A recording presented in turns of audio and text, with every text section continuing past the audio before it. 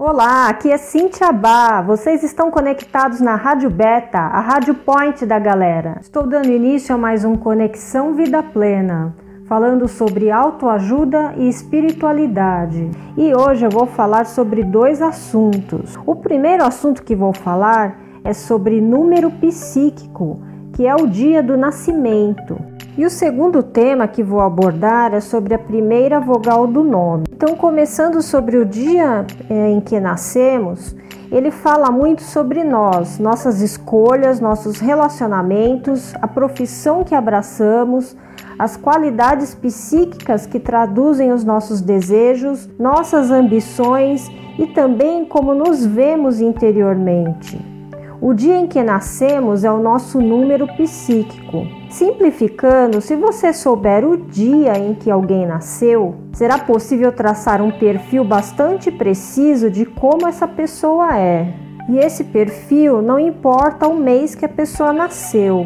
Então, a pessoa que nasceu, por exemplo, no dia 7 de março e a pessoa que nasceu no dia 7 de dezembro ou 7 de agosto, elas têm um perfil bastante parecido. Então, há padrões comportamentais comuns entre pessoas que fazem parte de um mesmo grupo, de acordo com o dia em que nasceram. Por exemplo, quem nasceu no dia 10, você soma o 1 mais o 0 e aí você tem a energia do número 1. Então, o 10 ele tem a energia do número 1.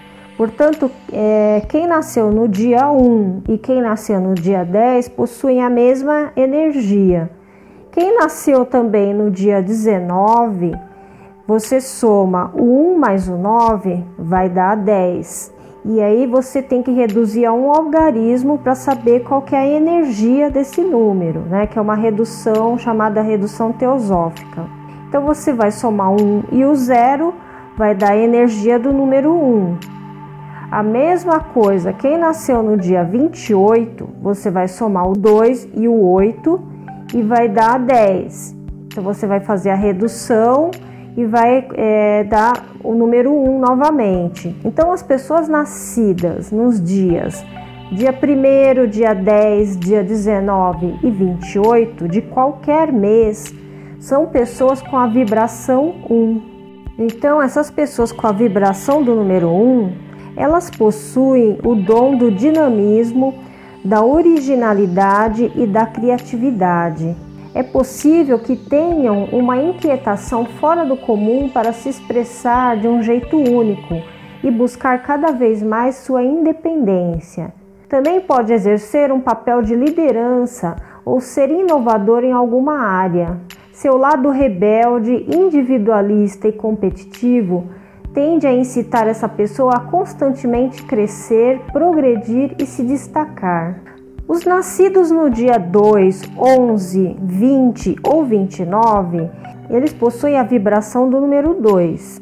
Então, são pessoas que têm o talento de conciliar pontos de vista, conhecimento, pessoas e ambientes aparentemente divergentes. Elas possuem uma habilidade conciliadora que propicia apaziguar, confortar, curar e apoiar as pessoas, ou simplesmente ser um colo reconfortante que, com sua simples presença, ampara e oferece segurança emocional aos outros. Além disso, tem uma predisposição a estabelecer parcerias, acordos e alianças que influenciarão sua vida de forma significativa. Então, quem possui a energia do número 2 no dia de nascimento, você nasceu para formar duplas e brilhar em conjunto com o outro. Ou seja, você é o oposto de quem tem energia do número 1. Um, né? Quem tem energia do número 1 um, é, nasceu para brilhar sozinho.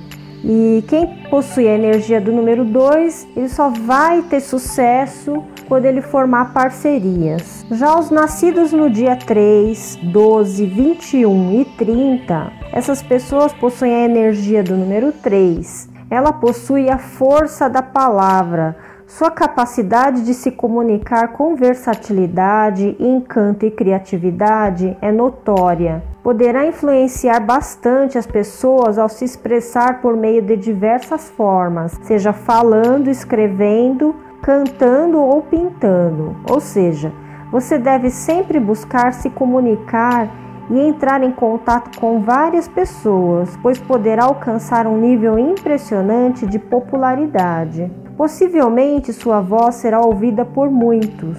Já os nascidos no dia 4, 13, 22 ou 31 possuem a vibração do número 4. Essas pessoas nasceram com uma disposição considerável para ser um ponto seguro na vida das pessoas. Seu talento para trabalhar, perseverar e assumir muitas responsabilidades é digno de nota. Tanto quem tem produtividade suficiente para cuidar simultaneamente de deveres profissionais, familiares e domésticos bem exigentes. As outras pessoas sabem que pode contar com você para o que der e vier. Com um jeito prestativo e dedicado, valoriza a segurança familiar, a credibilidade social e a estabilidade financeira.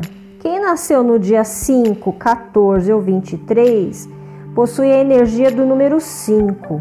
Você possui uma curiosidade acima do normal, além de um inconformismo com o tédio e as convenções sociais repressoras já que gosta de viver experiências diversificadas, seja fazendo vários cursos, viajando bastante ou se interessando por diversas áreas. Na verdade, você tem a aptidão de buscar sempre algo novo, diferente e estimulante.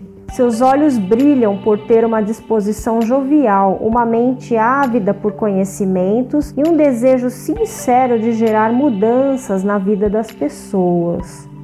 Os nascidos nos dias 6, 15 e 24 possuem a energia do, do número 6. Você tem o dom de ser fiel às suas amizades e de se dedicar à família, pois sente necessidade de criar vínculos repletos de companheirismo, harmonia e união. E ainda possui o talento de servir e de ser útil, especialmente aos familiares e às pessoas que mais necessitam de ajuda quer contribuir de alguma maneira para a comunidade e o bem social. Também gosta de viver cercado pela beleza e pela arte, além de ter uma aptidão toda especial para se reunir com pessoas que possuem os mesmos ideais que os seus. Ao fazer parte de um grupo, terá mais oportunidades de proporcionar melhores condições de vida às pessoas. Já os nascidos no dia 7, 16 ou 25 possuem a energia do número 7. Você certamente foi presenteado com o dom da investigação, da pesquisa e da disposição em buscar constantemente conhecimentos especializados. Além disso, tende a se tornar uma autoridade na área que escolhe se envolver. Com isso, terá condições de atuar como um expert ou mesmo um professor, ensinando de forma didática e com embasamento teórico o que descobre, percebe e coloca em prática no seu dia a dia. Também é uma pessoa muito seletiva, reflexiva e voltada para a qualidade de vida. Os nascidos no dia 8, 17 ou 26 possuem a energia do número 8 você nasceu com o dom da perseverança e da praticidade e é capaz de concretizar metas pessoais do grupo. Consegue esse feito ao colocar seu talento executivo para ordenar, administrar e reestruturar o que for necessário no processo de realização. Ao mesmo tempo, tem um forte poder de influenciar os outros, caso decida assumir responsabilidades filantrópicas. Nesse caso, poderá se colocar de forma ainda mais útil às pessoas ao assumir seu poder pessoal desempenhar com justiça uma posição de liderança e autoridade. Os nascidos no dia 9, 18 ou 27 possuem a energia do número 9. Você é uma pessoa carismática e possui um desejo de se doar humanitariamente aos outros. Faz parte de sua missão fazer sacrifícios pessoais em prol do bem de poucas ou muitas pessoas. Afinal, o seu dom artístico, professoral ou sua presença sensível tendem a ajudar muita gente. Por meio desses potenciais, você tende a conseguir diminuir o sofrimento dos outros ou inspirá-los de alguma forma a viver a vida com mais intensidade e entrega. E também, graças ao seu exemplo de autossuperação, poderá ser bastante percebido pelos outros, exercendo naturalmente esse tipo de liderança compassiva. Então, agora eu vou falar sobre a importância da primeira vogal do nosso nome. Além dos cálculos feitos com base em nosso nome inteiro, a primeira vogal também tem vital importância em nossa vida. Ela mostra a nossa individualidade dentro do contexto da análise numerológica completa. Se há mais de três vogais iguais à primeira do nome inteiro, a qualidade dessa vogal é aumentada, pois ela indica que suas características existem em demasia e que a pessoa deverá estar atenta e verificar a necessidade de refreá-las. As vogais são elementos sagrados dentro do alfabeto. A primeira vogal do seu nome corresponde à vibração sobre a qual sua alma entrou no seu corpo. Por este motivo, a primeira vogal influencia profundamente o indivíduo. Veja então que qualidade sua primeira vogal lhe proporciona. A vogal A, que possui a energia do número 1, é mental em aspecto, mas também emocional pois traz consigo muito sentimento. Quem tem a letra A como a primeira vogal do nome é progressista, corajoso, independente, original, curioso interessado em pesquisas. Tendo espírito pioneiro, empurra os outros para frente. Está sempre interessado em ideias novas, mas prefere que elas venham de si próprio do que de outra pessoa, porque gosta de ser criativo. Tem prazer em sentir-se diferente. Defenderá o seu ponto de vista mesmo que o mundo inteiro se oponha a ele, já que se recusa a ser dirigido. Aceita conselhos apenas quando eles coincidem com aquilo que já acredita ou que simplesmente confirma sua própria opinião. Atrai novos contatos, novas oportunidades e novas situações que envolvam mudanças. Deseja romper com o antigo ou tentar tradições e empreendimentos arriscados no desconhecido. Sabe o que quer e por que quer. Deve evitar mostrar-se dominador, teimoso e dono de falso orgulho. Aprenda a ser tolerante sem com isso perder sua individualidade. A vogal E possui a energia do número 5. Então, quem possui a letra E como a primeira vogal do nome é físico em aspecto e relacionado com os cinco sentidos. Ama a mudança, a aventura, viagens e interesses novos. Deseja liberdade acima de tudo para desenvolver-se mas não deve romper as regras para obtê-la. É inquieto, nervoso, detesta rotinas e pormenores. Muitos problemas acontecem devido à sua precipitação. O contato com o público lhe traz satisfação e é um ótimo vendedor, tanto de suas ideias quanto de sua própria imagem, mas deve ter cuidado para não causar flutuações financeiras, estando uma hora bem, outra não. O casamento pode ser instável e o lar sofrer devido à flutuante forma mundana de viver e às ações impulsivas. As experiências da vida, que serão muitas, são representadas como em um palco ou numa casa de vidro.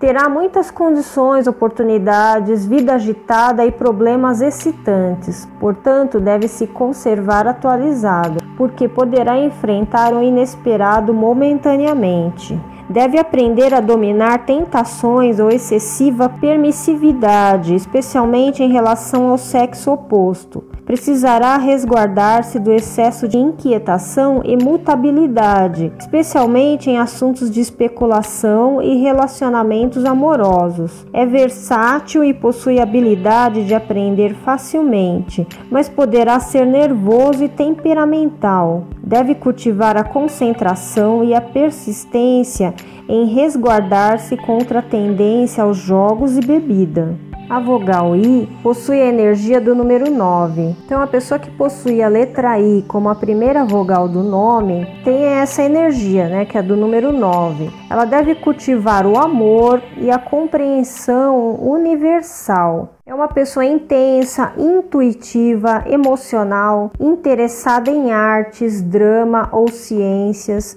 e tem muita energia vital. É a lei dentro de si mesmo, é tranquila ou enérgica e sabe ajudar os outros, ou é extravagante e egoísta. Um I é quase sempre indiferente ou aborrecido, embora tenha muitos talentos. Não gosta de mudanças porque não gosta de tentar nada novo. Prefere aperfeiçoar o que conhece e então agarra-se ao método tentado, repetindo-se constantemente. O coração e a paixão governam a mente do I. Se for bem desenvolvido, é bondoso e gosta de servir à humanidade. Se não, é autocentralizado e autoindulgente. A vogal I atrai fortuna e proteção. Tem a capacidade para compreender as necessidades dos outros e assim pode pavimentar a estrada para o sucesso e a fortuna. Se I fracassar, será devido ao excesso de otimismo que o levará levará a cometer erros.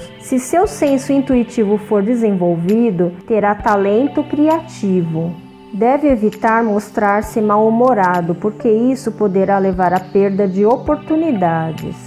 Você conecta, você ouve www.radiobeta.top A Rádio Point da Galera. A Rádio Point da Galera. Estou de volta com Conexão Vida Plena falando sobre a primeira vogal do nome, quem possui a letra O como a primeira vogal do nome possui a energia do número 6. Essa pessoa é mais feliz quando dá conselhos aos outros, fazendo recomendações. Essa pessoa também é franca, metódica, gosta de ser útil e é essencialmente professora, mãe ou pai, acredita na lei, no sistema e na ordem. Precisa de responsabilidade para sentir-se importante. Ama o lar e a família e busca uma oportunidade para brilhar no meio que pertence. Deve evitar discussões, embora goste de tentar convencer os outros de que tem razão. Se houver necessidade de discussão, terá que fazê-lo com muito cuidado, muito tato. É um excelente anfitrião, gosta de receber as pessoas, aprecia um lar belo e harmonioso e precisa de ambientes requintados para se sentir à vontade. Quem possui a letra U como a primeira vogal do nome, essa pessoa possui a energia do número 3. É uma pessoa despreocupada, jovial e feliz, com uma mente universal, capaz de grandes ideias e de um amplo ponto de vista. Adora acumular coisas materiais, gosta de contatos sociais, festas, de angariar e cultivar amigos. Muitas pessoas gostam de você e é um bom amigo em retorno. Poderá atrair experiências peculiares, sofrendo por causa disso. É amante da natureza e gostaria de fazer com que as flores e plantas crescessem profusamente. Estudioso e analista busca autoexpressão no falar escrever ou agir. Costuma deixar-se levar pela emoção. Artístico e versátil, deve dirigir seus esforços com força de vontade férrea para combater sua tendência a fazer diversas coisas ao mesmo tempo dispersando seus talentos. É uma pessoa que deseja expandir-se e fazer algo diferente. Autoaperfeiçoamento é sua tônica. Deve confiar na sua intuição. Essa pessoa, quando bem desenvolvida, lutará pelo erguimento da humanidade. Se viver negativamente, será egoísta, intolerante e terá estreiteza mental. Embora o Y seja considerado consoante, em nossa língua ele tem sempre o som de I, por isso iremos analisá-lo como vogal. O Y possui a energia do número 7. Com o valor do número 7 é introspectivo e intuitivo, e melhor seria que aprendesse a seguir seus pressentimentos. Sua força é intelectual e lógica está ligado à natureza e tem dificuldade em se expressar livremente. Busca a perfeição e a sabedoria. Com sua disposição para o segredo, pode guardar muitas coisas para si mesmo, mas recusa partilhar seus segredos com amigos, pois é retraído e tímido, escondendo seus sentimentos. Gosta de passar algum tempo sozinho, em quietude e reflexão. Admira as atividades intelectuais e a coragem mental. Deve aprender a ser discriminador, de outra maneira poderá ser enganado pelas aparências. Se viver de maneira maneira negativa, não terá tato, nem análise, nem conhecimento. Então é isso, pessoal. Eu espero que essas informações sejam úteis para vocês. E o Conexão Vida Plena vai ficando por aqui. Mas eu volto semana que vem com mais um assunto sobre espiritualidade e autoajuda. Um grande abraço. Namastê!